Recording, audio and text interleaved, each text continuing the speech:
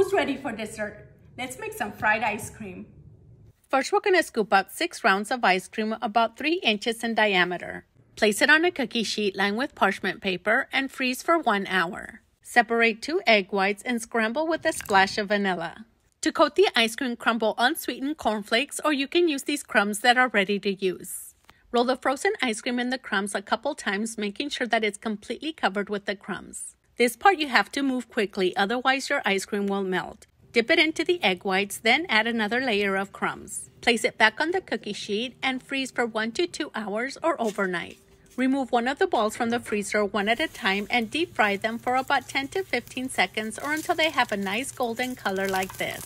Serve right away with your favorite in-season fruits and top it off with whipped cream and your favorite toppings. And enjoy!